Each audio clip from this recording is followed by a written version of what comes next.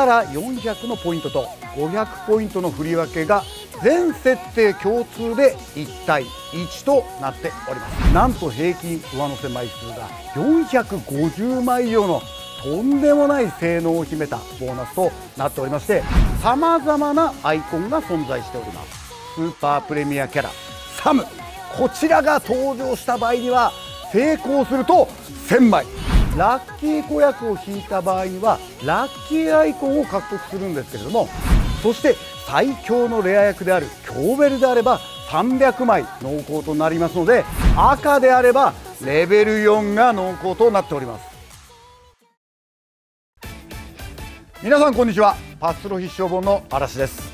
この動画ではパツロスーパー海物語 in ジャパン祭りのゲーム性や内部情報をどこよりも早く私嵐がご紹介させていただきます。今回は第2回目の動画となっております。それでは早速紹介してまいりましょ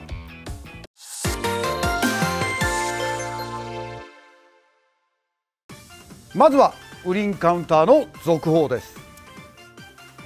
ウリンカウンターの規定ポイントは初回は200ポイント固定なんですが2回目以降は100から400のポイントと500ポイントの振り分けが全設定共通で1対1となっております。ですので早いポイント振り分けをゲットすることができればすぐに桜チャレンジに当選するチャンスが巡ってくるという形になっていると。これは覚えておきたいポイントですね。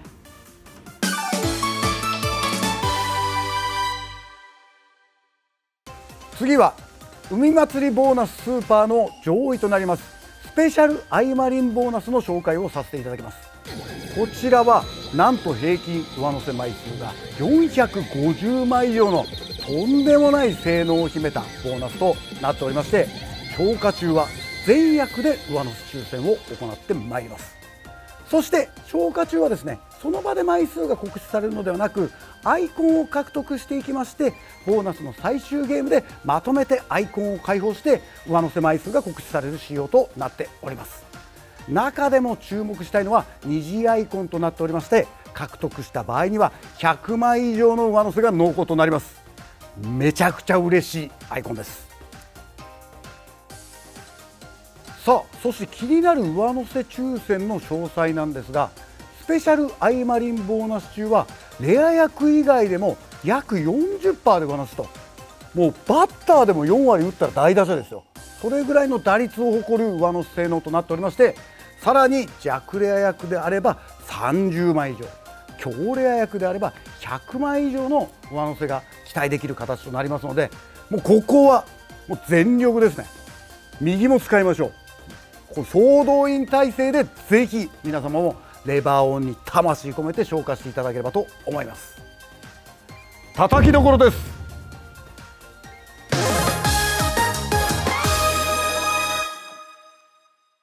さあここからは出玉獲得の鍵となる上乗せ特化ゾーン海乗せフェスティバルの詳細について紹介していきます。海乗せフェスティバル初当たり時はベルナビを4回獲得します。そのため突入後はより上乗せしやすい状態となっております。そしてそのベルナビを消化した後はオッシュンベル成立のナビが2択とかになる可能性がありますのでその際には自力で上乗せを勝ち取っていくゲーム性になっております。また海ラッシュ中に突入した海の瀬フェスティバルのナビ回数は獲得できるのが1回となっておりますので初当たり時の海の瀬フェスティバルの方が和の性能が高い特徴もあるということを覚えておきましょう。海の瀬フェスティバルで出現する各上乗せアイコンですがさまざまなアイコンが存在しております。マリンとワリンのアイコンは成功すれば30枚以上濃厚。そしてウリンであれば50枚以上が濃厚となるんですけれどもとんでもないアイコンも存在してます。海物語といえばやはりスーパープレミアキャラサム。こちらが登場した場合には成功すると1000枚。失敗したらゼロではありません。一応100枚もらえます。ただここはですねもう絶対に成功して1000枚取りたいっていうアイコン。それがサムであるということを皆様ぜひ覚えておいてください。そしてアイコンの中でも特殊でかつ上乗せに重要に関わってくるアイコンが宝箱アイコンとなっております。こちらは成功するとメタルチャンスアイコンというものが出現いたしましてそのメタルチャンスアイコンを成功させることによって海のせいフェスティバルメタルに移行するアイコンとなっております。だからスーパーチャンスアイコンみたいな感じだと思うんですがこの海のせフェスティバルメタル3桁上乗せが濃厚になる特化ゾーンとなっておりますのでもう絶対に宝箱を開けて中からお宝をゲットしましょう。なおそのメタルチャンスアイコンに関しては一気に複数獲得する可能性もありますので大チャンスが連鎖する可能性もあるということをぜひ覚えておいてください。さらに海の瀬フェスティバルを長く継続させるために必要となってくるのが終了回避アイコンとなっております。こちらは保有していると終了アイコンが来た時に基本的にはそこで子役を引かないと海の瀬フェスティバルは終了してしまうんですがそのアイコンがあると子役を引かなくても継続させてくれる。非常に重要な回避アイテムとなっております。そして上乗せ枚数をより多く獲得するために重要となってくるラッキー子役についてもここで解説させていただきます。海の瀬フェスティバルは開始時にその回のラッキー子役というものを抽選しているんですけれども基本はレア役が対象となっております。ただここにリプレイが入ってくる場合がありましてその時はいわゆるリプレイって言ったら簡単に引けますのでより大量上乗せのチャンスになるという形になっております。またラッキー子役を引いた場合にはラッキーアイコンを獲得するんですけれどもこちらのアイコンも一度に4つ獲得する可能性がございます。そしてラッキー子役の中でもチャンス目は特に優遇されておりまして3つ以上の獲得も十分射程圏内となっております。ここで海徳情報。先ほどメタルチャンスアイコンは複数獲得する可能性があると紹介しました。その複数獲得した状態ちょっと詳細を解説させていただきますとじゃあまず3つ取りましたと。で1つ目でメタルに行きました。ってなった場合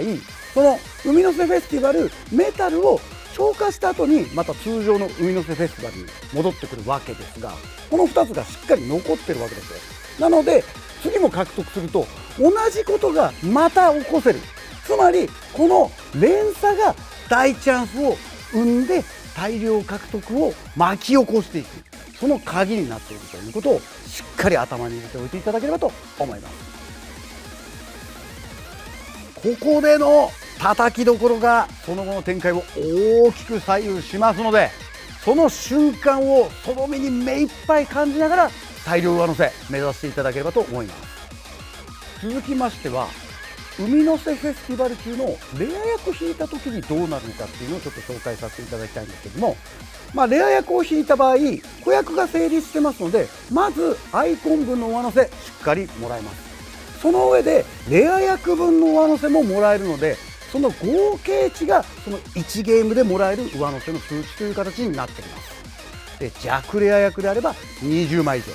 強レア役であれば30枚以上。そして最強のレア役である強ベルであれば300枚濃厚となりますので海の瀬フェスティバル中にレア役を引くだけで一気に大量獲得の大チャンスになるということも覚えておきましょう。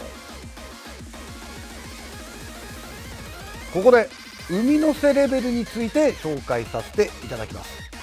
海の瀬フェスティバルには海の瀬レベルというものが存在しておりましてこのレベルが高ければ高いほどアイコンが優遇されるという特徴がありましてそうなるとより多くの上乗せ枚数に期待ができる状態になるという形になっております。この海のせレベルなんですから1から4の4段階存在しております。まあ一応振り分けを見ると12の選択率がちょっと高めなんですけれどもそもそも自力感の強い上のストッカーゾーンとなっておりますので低いレベルでもき次第で十分に大きな枚数が期待できる形にはなっております。ここで海坊主の海特情報海の瀬フェスティバル開始時は筐体上部の提灯ランプの色で海の瀬レベルのスターを行っており赤であればレベル4が濃厚となっております。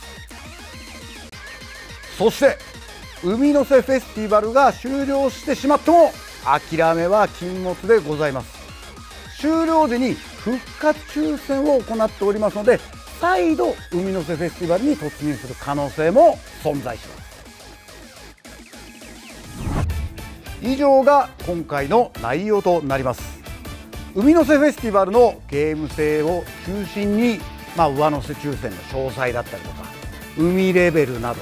まあ、本当にですねこの台は海の瀬フェスティバルを制するものがもう世界を制す台を制すみたいな、まあ、そういった側面がありますので一番の叩きどころを今回ご紹介させていただいたと思っております。ぜひその内容を把握して皆様も熱い時期に魂込めて楽しんでいただければと思います。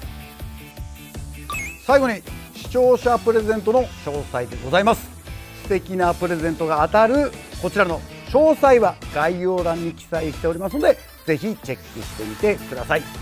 今回のキーワードは「み」1回目を見た方「が」ではありませんでした「み」です。間違いないように注意してください。それではこちらのキーワードもしっかり集めて最後ぜひプレゼントのご応募お待ちしております。次回は5月20日の配信予定となっております。海ラッシュ中の上乗せ詳細やボーナスについてご紹介してまいります。俺たちのフェスティバルはまだ終わらない。